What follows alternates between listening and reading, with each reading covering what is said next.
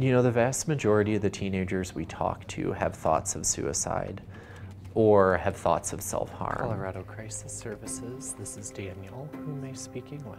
I've talked to teens in schools where there's a suicide of another classmate and they're really worried about that. So it does sound like there was some suicidal thoughts. The talk to teens in schools. Uh, there was a shooting in the neighborhood and the school went on lockdown and the kid was terrified um, and was really triggered by that experience. Are you having any thoughts of suicide?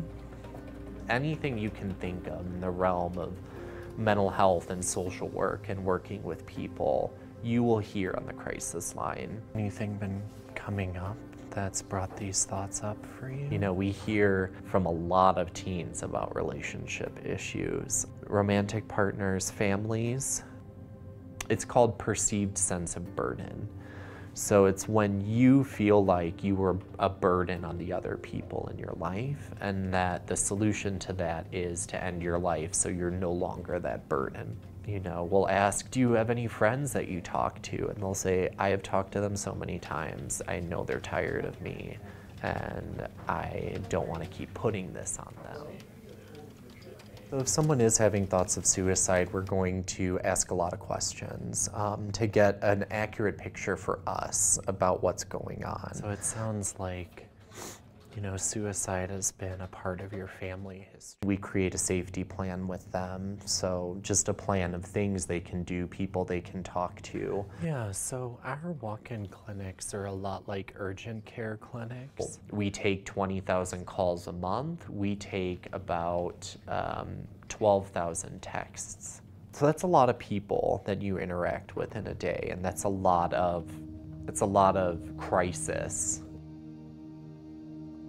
really easy to get caught up in what kind of difference am I making? The thoughts of suicide that you're experiencing, um, do you feel like you're going to act on these thoughts of suicide today? It's hard to keep that boundary so that things don't carry over into you you know, when someone is talking way up here, like their crisis is way up here, you have to meet them here.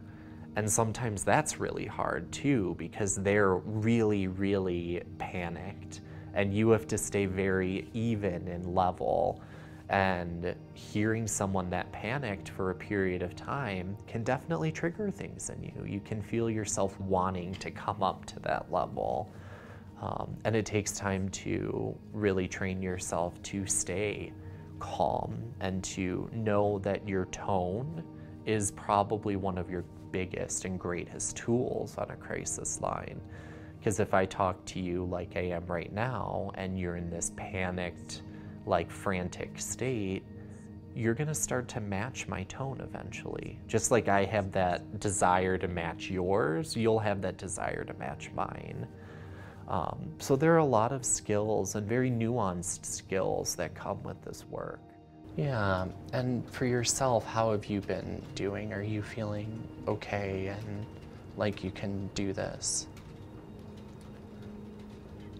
Typically, we don't get calls where at the end they're like, "Thank you so much. You were amazing. You are the you saved my life." We don't typically get that because we're talking with people in their worst moment. We're not talking with people after that moment has passed and they're in a better space. And you know, if your suicidal thoughts get stronger or they haven't gone away, how about giving us a call back so we can talk some more? You know, success is you connected with someone level with them on an emotional level, have like that warm, soothing tone to talk them through what's going on. And did you just allow them some space to vent? Because even if you've done that, that's success and that's helpful for someone. Of course, you take care.